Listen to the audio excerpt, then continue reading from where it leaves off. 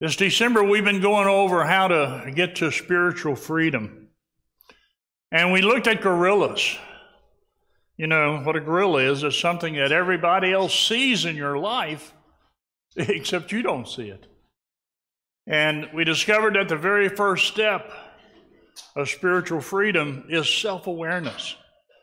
Learning to figure out where these gorillas are and changing them a little bit. And then last week, we talked about cookie cutter Christmas cookies. And, uh, you know, they come off the assembly line because you just punch them with the same cookie cutter. And we discovered the second step to uh, spiritual freedom was that the discovery of our uniqueness. The image of God in all of us, it's different, but it's the same. And that's what keeps us from ever becoming cookie cutter people. And if you are unique, why would you ever want to become a cookie cutter kind of a person? Now, today we're at step three. And I got to tell you, this one's hard. This one's called ownership.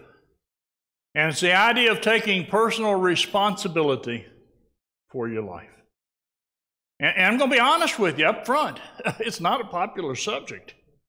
Taking responsibility for your, your life and the decisions you make is kind of a touchy service uh, subject. Some people can get mad pretty quick when you start messing with their responsibilities. Truth is, taking responsibility for your actions, your choices, your decision is just way too close to home for some people. But ownership is game changing. Ownership is just that important. In fact, we're not going to be able to go on till next week until we at least come to terms with ownership and accepting the responsibility for living your life. Somewhere. You have to leave this umbrella of victimhood and entitlement, and you've got to go in the direction of hope and empowerment. Now, we'll start out with something really unpopular and go even more unpopular in a minute. The things that happen to you in life may not be your fault, but it is your responsibility. Wow. May not be your fault, but it's still your responsibility. And here's the other thing I want to say you can't blame your way to freedom. And if you remember nothing else today except those two things, I mean, it's done deal. It's a good deal, good service. The things that happen to me may not be my fault, but they are still my responsibility. And I cannot blame my way to freedom. Now, by the way, ownership, taking responsibility is a partnership. We'll talk some more about that next week, but I want you to think of it this way Imagine that we are stuck in a deep, deep ditch. Well, God provides the ladder, but we have to provide the legs. So there's this partnership thing here about taking responsibility.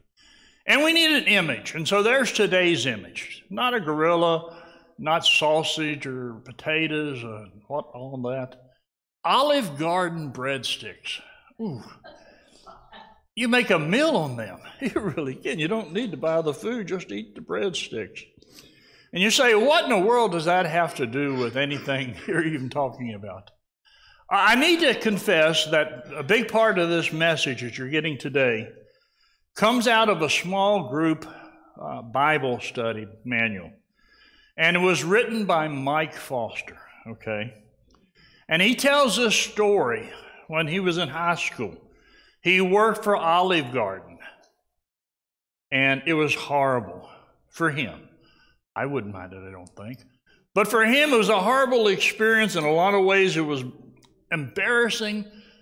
But he said he thought about quitting over and over and over again, except the only thing that stopped him were the breadsticks. Because you see, back then, if you worked for Olive Garden, you could eat all the breadsticks you wanted. They were absolutely free, and you could eat them at any time you wanted to. And so Mike endured several years of a job he didn't really enjoy uh, to keep the breadsticks. Now, I honestly don't know everything you're going through right now. I know some of you are going through some tough times. I know some of you have gone through some tough seasons. And whatever storm you're going through, I just hope you will find the breadsticks. Because I do believe that in every situation, God leaves breadsticks and they sort of take the edge off of everything else. And even if you feel like quitting, look for the breadsticks. And how do you find the breadsticks? Well, you do what we're talking about today. You become owner of your life. You start taking responsibility for your own actions and decisions. A breadstick simply is something good you can find. I mean, you say, my life may have looked like that yesterday. Or it may look like this today, but I'm going to take ownership and I'm going to find the good and the blessing for tomorrow. That's where we begin. Now, we're going to begin with five things that this uh, Mike Foster writes about in his study manual. And he calls them the five bummer dudes. now, it's an older book, okay? It's, it's dated. And this guy lives, I think still does, in Southern California. And come on, all of us talked like this back when Baywatch was on TV. Uh, but he just called, it, it, sorry, if you don't know what bummer dude means, pretend this. You're in your house. Your best friend comes over and says, My canary died the other day. Well, the Southern California response is, Bummer, dude. Serious. You just, how many of you watch Baywatch? Come on. Then know. At least you still tell the truth. Okay, here they are. I told you we are going to start with negative and get even worse. Life is unfair. Well, we fight that. Life should be fair, but it's not. It's never going to be. Bummer, dude. It's not going to work. People will hurt you. People at work, people in your family, people in your own church. Hopefully, not, you know, planned that way. Yesterday is gone. You can't change it. You cannot undo a mistake. You're not in control. Boy, this, this just grates at a lot of people.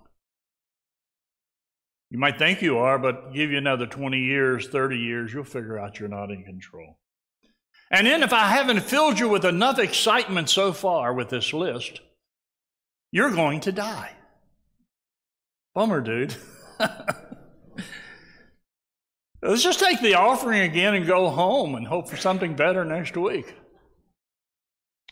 The point is, though, you can fight against those things all you want, but you'll never win because they are true. However, when you take responsibility for things like this, it's going to sound a little bit more like this next slide. Life is unfair, but I know God's just and He will even the score. People will hurt me, but God will never leave me. Yesterday is gone, but God is blessing my today. I'm not in control, but God is, and I can deal with that. And yeah, we're all going to die one day, but if we know Jesus, we'll live with God forever. Now, taking responsibility, here's a good place to start. You know, this is like precursor. Do with them. But now let's let the Bible weigh in on this subject, because I mean, after all, that's where we get the truth from. Genesis chapter 3 does a wonderful job of unpacking ownership responsibility, and placing blame. I know you know the story, but read along with me. The serpent was the shrewdest of all the wild animals the Lord God had made. One day he asked the woman, Did God really say you must not eat the fruit from any of the trees in the garden? Well, of course we can eat the fruit from the trees in the garden, the woman replied. It's only the fruit from the tree in the middle of the garden that we're not allowed to eat. God said, You must not eat it or even touch it. If you do, we'll die. You won't die, the serpent replied to the woman. God knows your eyes will be opened as soon as you eat it, and you will be like God, knowing good from evil.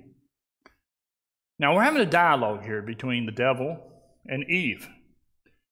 And, and, ladies, Eve is starting out well. She's putting up a good battle here. She has all the right answers. She's saying what God expected her to say. She's stepping up for God, but she's losing the battle. The next verse, she saw the tree was beautiful, and its fruit looked delicious. And she really did want the wisdom it would give her.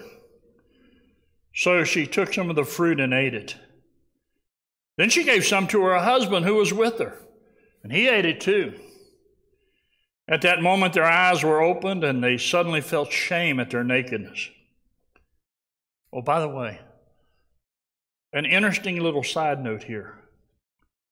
It took the devil himself to deceive the woman. It only took a naked woman to deceive the man. Think about that. Some things haven't changed for 8,000 years. So they sewed fig leaves. Took you a while on that one, didn't it? to cover themselves.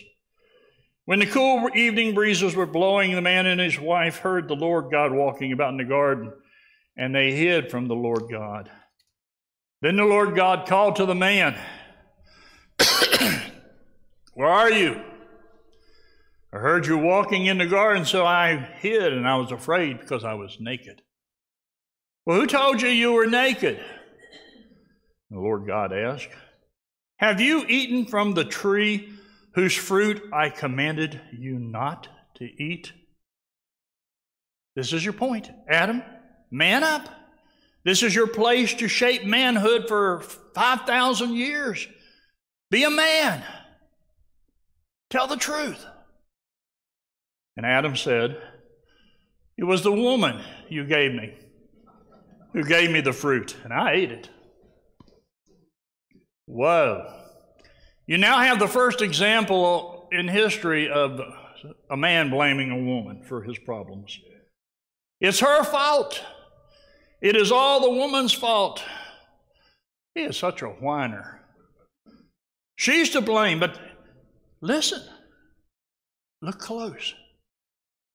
It was the woman you gave me. He's blaming God. If you hadn't given me this woman, I would have never done this terrible thing. He's a goober. And actually, God, it's your fault. Then the Lord God asked the woman, What have you done? Serpent deceived me. She replied, That's why I ate it. Kudos. She's absolutely being honest here. But she's still blaming somebody else for her actions and choices. And don't miss the point of Genesis chapter 3. From the first day of history, we keep blaming other people for the problems we make. It's their fault. It's my ex's fault. It's my family's fault. It's that teacher's fault. It's the government's fault. That is not taking ownership, that is just blaming. Nobody had to teach Adam and Eve to blame, they were just created that way. If you have kids, you don't have to teach your kids how to blame. They know that automatically. It's a teacher's fault. She's not a good teacher. She doesn't understand me. I'm special. Take ownership, not blame. Now, the reason we don't take ownership, because psychologists have actually discovered that when we blame other people for our problems, it really does make us feel better. And there is some comfort to be found by blaming everything on other people. But it only works for a couple minutes. It doesn't work in the long run, and it, it just doesn't stay permanent. Learning to take ownership, complete ownership for your life. Well, that's one thing that's going to fix it. So I have three things to say based on what we've talked about with the, the breadsticks and also heard from the Genesis chapter 3. Number one, my past refines me, but it does not define me. Isaiah says, Forget the former things, don't dwell in the past. I'm doing a new thing. I want you to think about your past for just a second.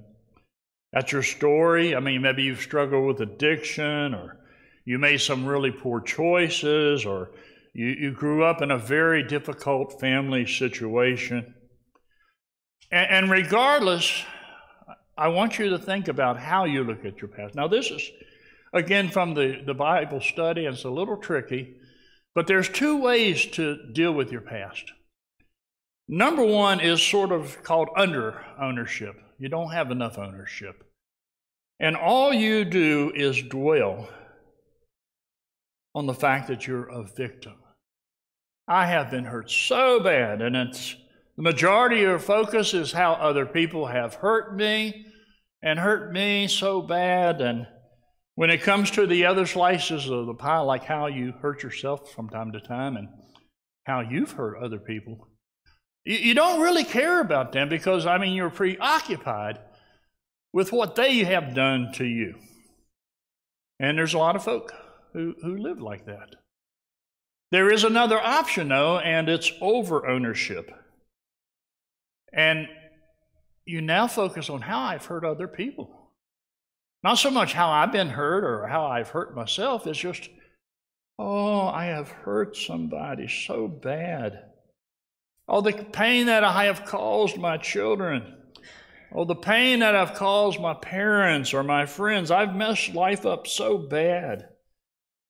And folk like this, they don't really even have the time to look at how to deal with those other things about how they might have hurt somebody or how they've been physically or abusively hurt. What should it look like? Obviously, everything equal surrounded by God's grace. Because we all deal with those things in our past. And not one of those categories is more important than the other. And ownership means you you, you realize that. And you're not going to beat yourself up because of how bad people have been to you or how bad you've been to somebody else. You're going to realize that you're just going to deal with those three possibilities you all face. Because my past refines me, but it won't define me. Well, number two, I am going to be more committed to being free than placing blame. This is hard. You thought I couldn't beat that bummer thing, bummer dude thing. Some of you might not speak to me after I read this next sentence to you. Sometimes we're more interested in being right than being healed. We're more interested in placing the blame, pointing the finger, it's their fault, than saying, I really want to be healed. I want to experience joy and happiness. I want my heart to be touched. So, where are you? Are you working now to get free of the hurt? Are you working now just to keep finding the blame, to keep that going? And that's a hard question because it, in my life, I know it's, it's easier sometimes to just keep chasing the details of who was right and who was wrong in this situation rather than just asking God, can I just get on with it and feel good about who I am as a person? Because it is easier to blame. You feel better when you blame somebody else. I didn't make that up. That's Psychology 101. It just doesn't last. And it never gets rid of the bitterness that's underneath the blame. Now, one last little illustration. Say, right after church, you're going to go out to, to lunch. Maybe I made you hungry for breadsticks. And you're going to be in an accident, and somebody's going to sideswipe your car there's two different people you can call. The one is the police, the other is the ambulance. And they will both come as soon as they can to get to the scene. However, the police will be concerned about the details. How fast were you going? How fast was the other car going? Who hit who? Who is at fault? Ambulance people, they're going to just come to help. They're not going to be concerned at all about who was at fault or anything like that. They just want to heal you, they want to save your life. So think about this. In your journey right now, are you spending more time with the police or the ambulance driver? Are you spending more time for the police to figure out who was really right and, and who really was to blame and wanting justice? Or are you wanting healing? And the really neat thing is that in the church, the ambulance driver is named Jesus, and he really does want to heal. He wants to rescue us, he wants to take away that hurt and pain. Ownership means I'm committed more to the healing than finding out who to blame. Final point, very short one. I recognize that life is hard. Come on down, praise team. But I trust that God is good. I admit it if you don't know it already. I'm a nerd, I'm a geek. I have just never really appreciated poetry at all. And I typically blow right past the things that people post on Facebook. I, I don't even Facebook on, on most days, but typically I see something on Facebook and I just blow right past it because that's, that's just the nerd and geek in me.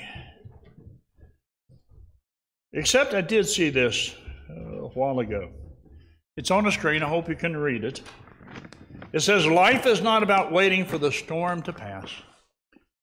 Life is learning how to dance in the rain. Now, again, I don't know your story. I don't know the things that you're fighting against right now, but I'm just saying don't quit. Keep fighting. Find the breadsticks. Find those little positive moments where God's blessing. But you have to take responsibility. You might have some unpopular decisions you have to make, but you they are your decisions, and you're the one who has to make them. Take responsibility for your story, ownership for your life, and get away from blaming. I know it's easy, but just get away from it. And realize that it may not have been your fault, but it's your life. It's still your responsibility. But choose God and choose that ambulance driver who loves you so much. Stand as we share a final song this morning.